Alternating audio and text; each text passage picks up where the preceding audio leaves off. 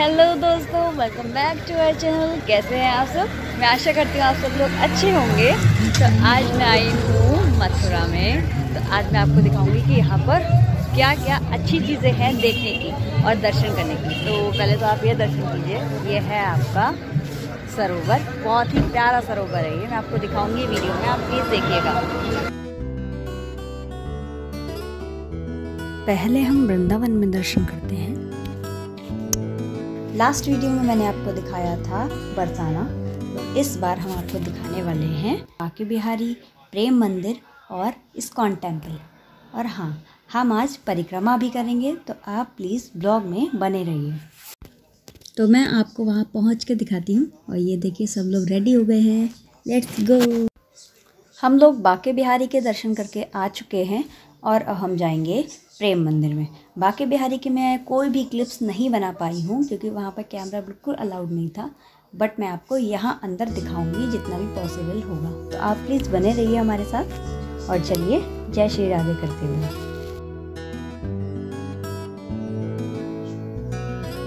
जय श्री गुरु गुरुवे नमः। और ये देखिए पूरा आपका दृश्य दिखाया गया है जब कृष्ण जी यमुना नदी में कूद गए थे अपनी बॉल लेने के लिए और फिर उन्होंने काले नाग पर नाच किया था। और यहाँ साइड में इन्होंने कमल का फूल भी बना रखा है। ग्रीन ग्रीन, कितना प्यारा लग रहा है ये। तो अब हम चलते हैं अंदर की साइड। देखिए यहाँ पर कितनी भीड़ है। काफ़ी दूर दूर से श्रद्धालु आए हैं यहाँ दर्शन करने। पहले हम अंदर दर्शन करेंगे, उसके बाद आपको बाहर का दिखाएँगे, क्योंकि मंदिर जो है बंद हो जाएगा, इसलिए हम पहले अंदर चलते हैं, फिर आपको दिखाते हैं बाहर का सीन और ये देखिए, कितना अच्छा बनाया है इसे। एकदम वाइट इतना सुंदर है ये। वाकई में इसकी नक्काशी बहुत ही ज़्यादा अद्भुत है। आप जब आएँगे तो आप बिल्कुल इसे देखते ही रह जाएँगे। बहुत प्यारा। Thank you.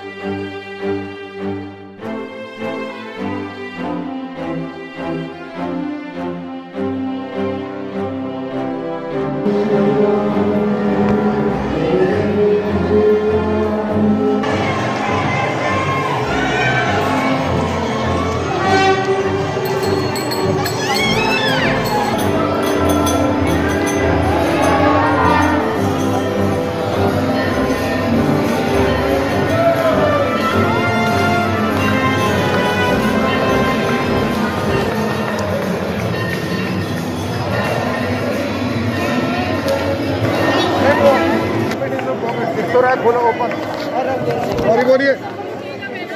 बोलिए।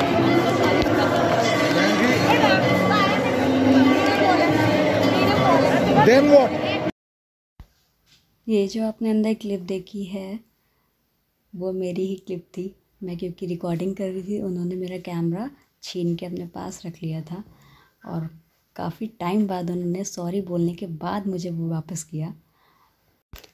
ये जो क्लिप थी वो मैंने सिर्फ़ और सिर्फ़ आप लोगों के लिए बनाई थी, लेकिन मैं आप लोगों से इतना कहना चाहूँगी कि आप लोग जब भी यहाँ आएँ तो प्लीज़ कैमरा अंदर ही रखिए। जय श्री राधे। तो जैसे कि मेरा कैमरा मेरे पास वापस आ चुका है तो अब मैं फिर से आपको बाहर के नज़ारे दिखाती हूँ। अंदर के तो ज़्यादा बना नहीं पाए, लेकिन हम बाहर के तो बना सकते हैं ना? तो मैं बाहर का ही दिखा देती हूँ आपको। तो ये देखिए, यहाँ पे इन्होंने झांकी बना रखी है, हंस बनाए हैं ऐसा लग रहा है हंस बिल्कुल रियल हैं। बिल्कुल इन्होंने जान डाल दी है इस ऑब्जेक्ट में। बहुत ही सुंदर। ये देखिए, झरना टाइप का दिखाया गया है। और यहाँ पर देखिए गोवर्धन। क्योंकि आपको पता है कि हम शाम को गोवर्धन की परिक्रमा करने वाले हैं तो उसकी एक सुंदर सी झांकी यहाँ पर दिखाई गई है गोवर्धन की। श्री कृष्ण ने गोवर्धन पर्वत उठाया था अपनी एक उंगली पर और सभी गाँव वालों को सुरक्षित किया था। जय श्री राधे, जय श्री कृष्ण। तो टाइम हो गया है मंदिर की क्लोज़ होने का। अब हम चलते हैं इस्कॉन टेंपल हमने यहाँ दर्शन कर लिए हैं, बहुत अच्छे से दर्शन मिले हैं। आप भी आइएगा ज़रूर एक बार और यहाँ दर्शन कीजिएगा। अब हम चलते हैं इस्कॉन टेंपल की तरफ़।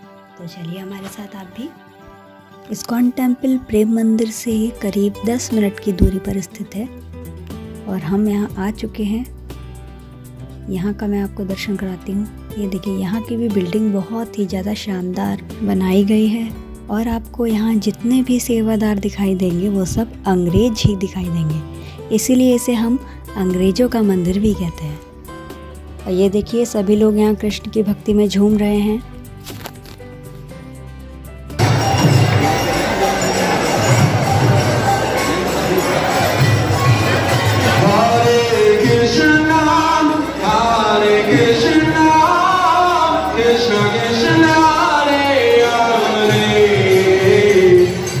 Ram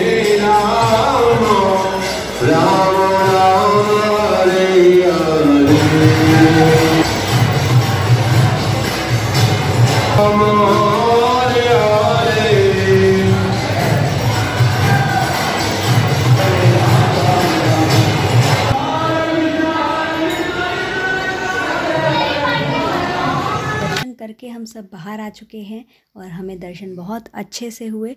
अंदर बहुत ज़्यादा भीड़ हो रही थी, इसलिए मैंने अंदर की वीडियोस नहीं बनाई है ज़्यादा। जितनी भी बनाई है, प्लीज़ उसे लाइक कीजिएगा कमेंट कीजिएगा और कैसी लगी video, please like comment share करके ज़रूर बताइएगा। और कमेंट में जय श्री राधे लिखना बिल्कुल ना भूलें। बाय बाय यहाँ पर मिल रहा है खिचड़ी का प्रसाद। बहुत ही स्वादिष्ट है। तो हम लोग तो आनंद ले रहे हैं। आप लोग भी आनंद लीजिए। जय श्री राधे।